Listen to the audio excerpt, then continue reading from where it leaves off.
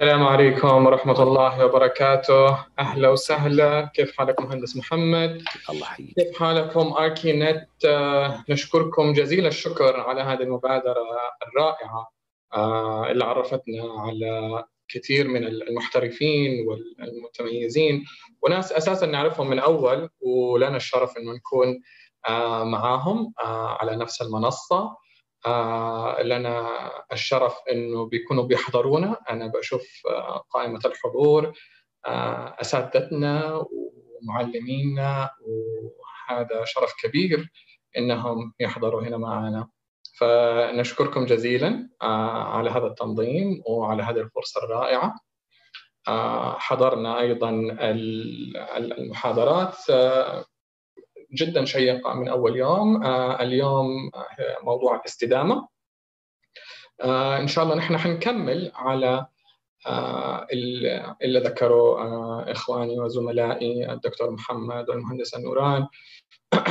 فما حنعرف كثير عن الاستدامة لكن نعطيكم حكاية أو قصتنا نحن مع الاستدامة وكيف حاولنا نحن نطبقها ومبادئها في مشروع البحر الأحمر. فاستكمالا آه للمحاضرات اللي عملوها إخواني السابقين. آه واليوم أنا ما أقول إنه هذه محاضرة لكن هي مجرد آه مشاركة لبعض التطورات اللي حصلت نحن معنا وكيف نحن بنتفاعل مع هذا المبدأ اللي بنسميه مستدامة واستدامة. آه ألخص أو أعقب آه إنه كثير من الناس آه، بتقول إنه التنمية المستدامة هي التنمية التي تلبي احتياجات الحاضر دون المساس بقدرة الأجيال القادمة على تلبية احتياجاتهم. هذه أحد المفاهيم أو أحد المقولات في هذا الهم. وأيضا نحن هدفنا في من الاستدامة آه، إنه ندير الموارد المتوفرة بذكاء وعدم هدرها والحفاظ عليها للأجيال القادمة. فهنا ملخص الاستدامه حق اللي نحن بنطلع عليه نرجع نذكر فقط آه مرة أخرى مجالات الاستدامة أو هي السفيرز حقتها آه اللي هي البيئية اللي على رأسهم آه، دائما نحن بنتكلم فيها وهي ما يعني يلمسنا في التصميم والعمارة والتصميم الداخلي كثير.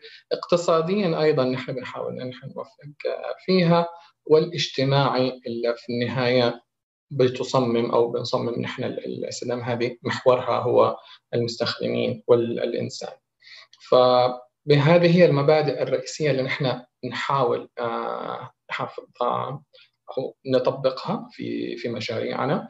المشاريع الآن أصبحت آه، من مشاريع كبيرة إلى مشاريع انفراستراكشر آه، بنية تحتية إلى مدن إلى أحياء فنقدر نقول إنه الاتجاهات اللي ماشية فيها العمارة المستدامه أو الاستدامة بشكل عام بنحاول إن إحنا نطبقها في مجالنا مجال العمارة والتطوير. آه، من استخدام ال building information management اللي هي النمذجة آه، نمذجة معلومات البناء على أساس نقدر نحافظ على المبنى من أول عناصر التصميم إلى التنفيذ والتشغيل وبعد كده. إطالة العمر الافتراضي آه، استخدام المواد المبتكرة الواجهات الخضراء حسب كمان المنطقة اللي نحن فيها زي ما ذكرنا الأحياء المستدامة والمدن المستدامة. التصميم والتخطيط يكون للإنسان آه، واللي هو محور الاستدامة تبعنا. وأيضا تطور أو يعني قد إيش أصبح في عندنا آه، تطور في البناء إنه نقدر نبني خارج الموقع ونركب المباني في المواقع بدون المساس آه، بالبيئة اللي فيها. فمن الأشياء اللي إحنا ك كشركة البحر الأحمر بدأنا فيها آه، اللي هي السياحة البيئية وبنحاول نطبقها وهنا ناخذكم على فكرة يعرفكم على المشروعنا ونكمل بعدها.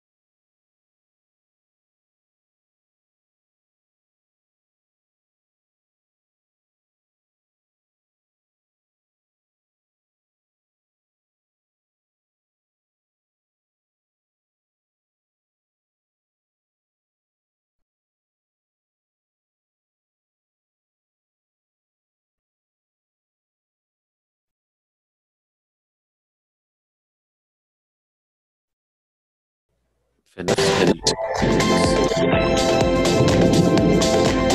هنا ارجع لهذا كثير من المبادئ. على مساحة موجودة هنا. 28 ألف كيلو متر مربع. هنالك قصة تكتب عن عجائب لم تكتشف. تضم أكثر من 90 جزيرة بكرة سيتم تطوير 22 جزيرة منها. وبمعايير استدامة عالمية. سنكفل عدم المساس ب 75% من جزر الوجهة لتغدو مواقع بيئية ذات قيمة. وسنضمن حماية وجهتنا لتستفيد منه الأجيال القادمة. هنالك قصة تكتب. عن وجهة تتصل بالعالم.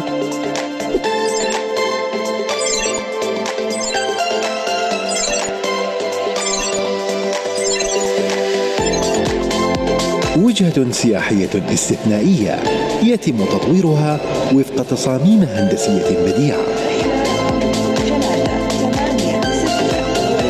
تتناغم مع روح الطبيعة.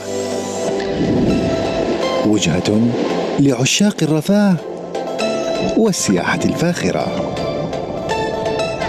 تصحبهم في تجارب تفوق توقعاتهم لتسمو بخيالهم فوق كنوز خفية وتبقى حية في ذاكرتهم. في كل خطوة من خطى رحلاتهم.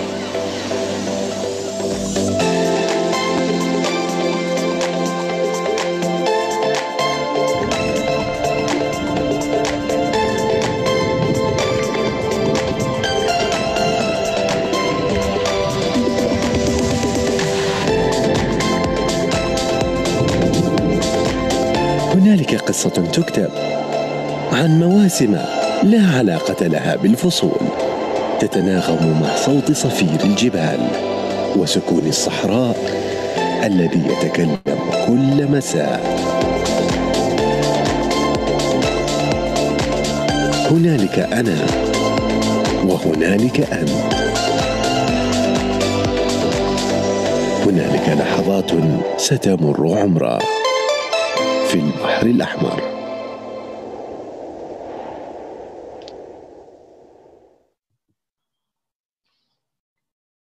هذه فكرة مبسطة و يعني صممناها بحيث أنه نقول إن إحنا بنتبع مبادئ الاستدامة لخلق سياحة مستدامة. آه هذا هو أحد التوجهات الجديدة في في هذا المجال. ولضمان كمان يعني المحافظة على المجالات الاستدامة الثلاثة اللي هي البيئية والاقتصادية والإنسانية بنحاول إحنا نركز عليها في كل تصميماتنا آه، اللي نحن بنسويها في داخل المشروع. بما إنه البيئة كما ذكرنا إنه هي منطقة بكر آه، فهي الآن تعتبر نقطة جذب رئيسية آه، لموقعنا بحيث إنه الآن إحنا عندنا تحدي آخر آه، اللي هو كيف نقدر نحافظ على هذه البيئة ونطورها بحيث إنه إحنا ما نرجع آه، يعني حطينا حطينا مبادئ إن نبغى نشتغل عليها فما نبغى إنه إحنا نخلفها فبنحاول إنه نعملها. فال يعني الأنظمة البيئية اللي موجودة الأحياء البيئية اللي موجودة الأشياء اللي الآن في عندها انقراض أو مهددة بالانقراض إحنا بنحاول نحافظ عليها ونحسنها. آه وهذا اللي بنسويه في المشروع بصفة عامة. المشروع كصفة عامة بنحاول نحن آه نطبق كل مبادئ الاستدامة. فهذه الاستدامة والبيئة اللي هي المشروع زي ما ذكرنا نحن بنحاول نلتزم بتطوير هذه الوجهة السياحية مع المحافظة على البيئة مع تحسين البيئة وكمان زيادة التنوع الأحيائي بها نرجع مرة أخرى نحن نقول إنه هي بيئة وإيش مجتمع و آه، آه، واقتصاد في نفس الوقت. يعني من المعايير اللي إحنا بنستخدمها طبقناها في الوجهة إدارة الانفايات الصلبة الانبعاثات الغازية ممنوع التصريف في البحر حتى التلوث الضوئي حن, حن يعني راعيناه استخدام الطاقة المتجددة. ممنوع استخدام المواد البلاستيكية ترشيد استهلاك المياه. هذا كله تعقيبا على كل الشرح والتفصيل والتعاريف اللي ذكروها المتحدثين قبلنا وكمان كلنا نحن يعني دخلنا فيها. كيف إحنا بنسوي في في التصميم نفسه؟ كيف يعني إحنا قدرنا إنه نطبقها؟ فبنجي ندرسها زي ما هو موجود في في الشاشة اللي على اليمين. إنه أول شيء إحنا نحاول نتجنب أو يعني نتجنب الأضرار. يعني نحاول نلقى عمليات بديلة نحاول نلقى طرق آه، في التصميم آه، إنه نحن نقلل الأضرار. بعد كده تيجي المرحلة الأخرى اللي هي اللي هي تقليص الأضرار في الاستخدام. بعد كده نبدأ نعوض كمان في البيئة. فدائما بنحاول إنه يعني نرجع نراجع التصميم أكثر من مرة آه، نحسن فيه نراجع ونحدد الأضرار اللي ممكن نحن نقدر نعدلها ونصلح فيها ونسويها. هذه أحد الـ يعني الـ الأمثلة نحن آه، يعني سويناها عندنا في المشروع. هذه أحد الجزر اللي من في النسخة الأولى من التصميم كان عملنا عليها تقريبا 200 فيلا و 130 غرفة. آه، بعدها رجعنا سوينا عليها اسسمنت وقد إيش التطوير أو التصميم اللي نحن عملناه قد إيش هياثر على على الجزيرة نفسها لأنها جزيرة بكر فيها سلاحف فيها طيور فيها تعشيش فيها أيضا آه، مرجان فيها آه، مانجروف فقد إيش التصميم الأولي كان له تأثير على الجزيرة؟ رجعنا اضطرينا نحن نعيد استخدام المنطقة قللنا عدد الفلل قللنا عدد المفاتيح آه، أيضا من المراجعة في الاستدامه البيئية راجعوا لنا إياها لا كان في آه، إضرار كبير بهذه الجزيرة. وصلنا للمرحلة الثالثة من التصميم إنه إحنا ما نستخدم هذه الجزيرة بالذات ونخليها محمية بيئية بحيث إنها تضيف إلى المشروع ككامل مشروع متكامل. وأيضا حاولنا إنه نحن نوجد بعض ال نصلح في في البيئة اللي موجودة فيها من للحيوانات وال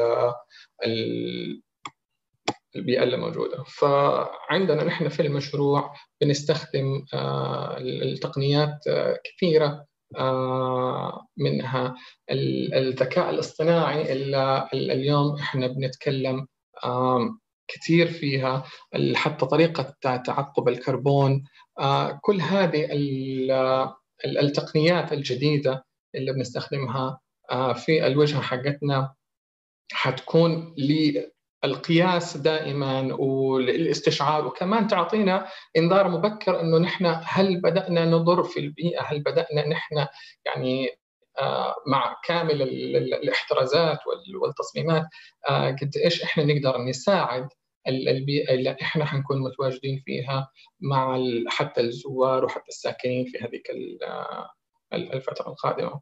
من أحد المبادئ الرئيسية اللي إحنا بنستخدمها وبنحاول نحافظ عليها آه، في منطقتنا اللي هي السماء المظلمة. التلوث الضوئي آه، من الأشياء اللي بنحاول إحنا نحد منها. آه، وفي التصميم ككل بحيث إنه دائما بنستمتع في السماء المظلمة. وأيضا أضيفت إلينا الآن أو إحنا أضفناها العناصر التراثية. العناصر التراثية من من من كل الخدمات والموارد اللي موجودة في المنطقة آه، لأنها منطقة أثرية أشياء تاريخية تاريخية في في الملموس في في الأصول الملموسة وكمان في الأصول المتوارثة كمان في العادات وفي التقاليد آه، كيف إنه المجتمع المحلي إن كان هو الآن إلا موجود والقديم إنه كيف نحن نقدر نعيد نحييه و ونحافظ عليه ونطور منه كمان. آه، في في الأمور الرئيسية كلها في في الأمور اللي هي الأساسية كمثلا أكل وك كبناء وكمان في الأمور الترفيهية وبعض التقاليد المحلية. بنحاول إحنا عشان نقدر نوجد عن أو نكون ضمن عناصر الاستدامة الثلاثة آه، فبتكون عندنا شهادات ال LEED أيضا نحن بنحاول إنه نكون مع ال GRESB بنكون بنحاول إنه آه، نأخذ الاحتياط أو التدابير إنه بنكون آه، متوافقين معاهم فبهذا نحن بنحافظ على الأمور البيئية والأمور كمان الاقتصادية في تطوير هذا. من بعض المبادرات اللي إحنا عملناها لتعزيز مبادئ الاستدامة أيضا آه، عملنا مسابقة للعمارة المستدامة أطلقناها لطلاب وطالبات الجامعات السعودية آه، وكانت آه، يعني كانت لاقت قبول في التسجيل قبول رائع من الطلاب والطالبات. نحن بهذه المسابقة بنحاول أنه نمكن الشباب السعودي ونحاول نخليهم جزء من المشروع تبعنا. التسليم كان قبل ثلاث أيام. استلمنا 114 تسليم. بالمصادفة كانت نص من المشاركات ونص من المشاركين فهذه من الأمور الجميلة اللي واجهناها وشفناها في من خلال هذه المسابقة. كان فيها ورش عمل كثيرة بحيث إنه كل المشاركين معنا آه، مش فقط بيقدموا لنا تصاميم لكن حاولنا نشاركهم كثير من خبرات المتميزين عندنا في الشركة. وبدانا مراحل التحكيم والفرز في الفترة في الفترة هذه. يعني كده نحن دائما نحاول أنه آه، نطور في هذه النظم البيئية، النظم الثقافية آه، للمجتمع ككل للمنطقة. آه، دائما الاستدامة لها لها أبعاد ومبادئ كثير. فمن كثير من اللي نحن دائما وكل يوم واليوم كمان لاحظناه بنتكلم في كثير من إيش هو الاستدامة؟ هل هي المباني التاريخية القديمة لها كثير من مبادئ الاستدامة أو حتى المباني الجديدة اللي هي آه، منتجة للطاقة منتجة لل أو تكون خضراء آه، كاملة فكلها هذه تعتبر مباني مستدامة آه، في في عصرها وفي وقتها وكل يوم إحنا بنحاول نوجد أمور ومبادئ في الاستدامة بنحاول إنه نطبقها بنحاول إنها تكون متواجدة معنا في مشاريعنا آه، وهذه أحد المشاريع اللي نقدر نحن نقول كثير من المبادئ الاستدامة اللي آه، حاولنا نحافظ عليها ونطبقها وكمان نأخذ الشهادات المتعارفه عليها آه، من الشكل اللي هو كثير ناتشرال أو طبيعي للمحاكي للطبيعة. وكمان في الأشكال اللي هي تعتبر حديثة آه، أو استخدام كمان مباني أو أساليب البناء الحديثة.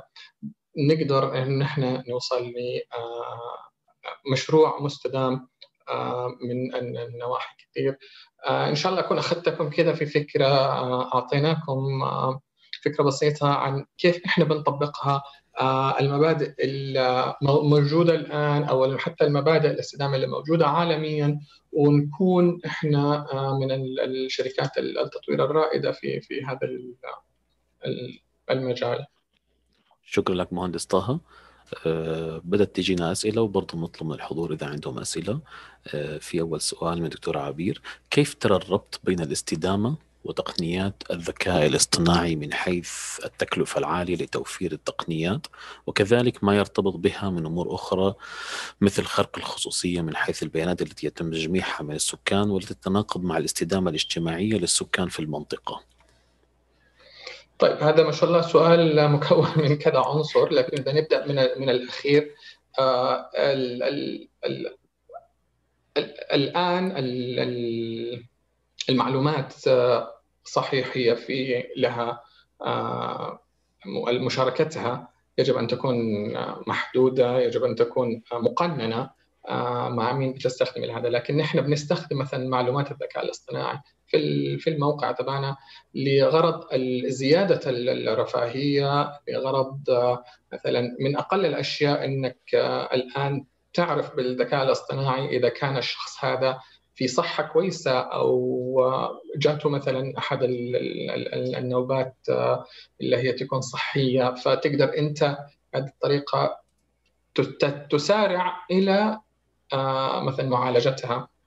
أيضا لزيادة الرفاهيه زي ما قلنا إنه نحن نعرف هذا الفرد إيش الأشياء اللي تريحه وتحبه إن كانت مثلا إضاءة خفيفة إن كان صوت أهدى إن كان نوع من الأنواع الأكل المعينة فدائما بتوفر لي. طريقة عد إنه مشاركتها مع هذا هذه تكون قوانين صارمة المفروض جدا.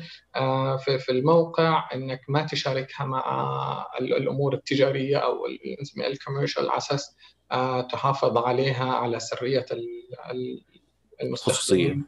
Yes الخصوصية هي اليوم هذا موضوع كبير جدا إنه دائما بيقول لك الذكاء الاصطناعي.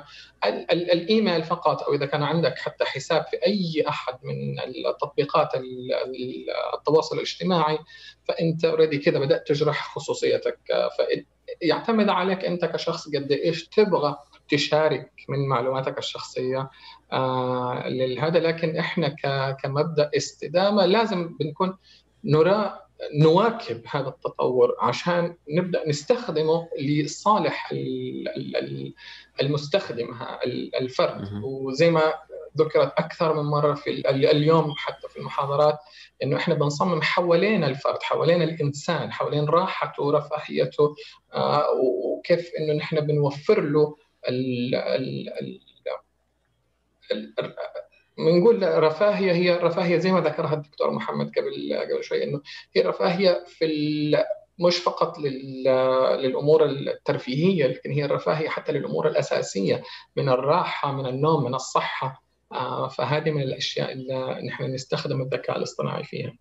آه، طيب. الجزء الأول من السؤال شوية راح علي لكن آه، إذا كان هو لازم نواكب باستخدام آه، كل جديد بالذات في أمور التقنية والذكاء الاصطناعي آه، ونطوعها آه، في في التطوير واستخدامها للاستدامة.